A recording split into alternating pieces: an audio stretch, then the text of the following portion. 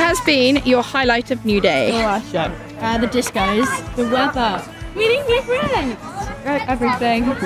the slippery slide or the silent disco. People understanding I have feelings and everyone is so nice and you should come to Newday. making new friends. Just been leading the youth. That's been amazing. My highlight of Newday is probably seeing people get touched by the Holy Spirit in the meetings, and it's just really good to watch and it's really joyful. Hanging out with this girl. Alice was in my youth.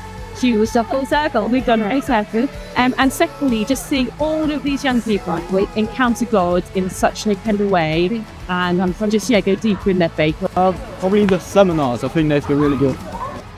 I really like the short flyers, but it really hurt because I hurt my knees. Yeah, my favorite thing about Newday would probably be the worship. Like, you can just feel the Holy Spirit coming through. It's, it's amazing. Last night was beautiful as well. They did the song, um, Your Love is turned us around. Favorite song, yeah, amazing. I really like the worship and the step inside with the water, spice and stuff. And did anything special happen this week? Yeah, I felt the Holy Spirit gave my life to God.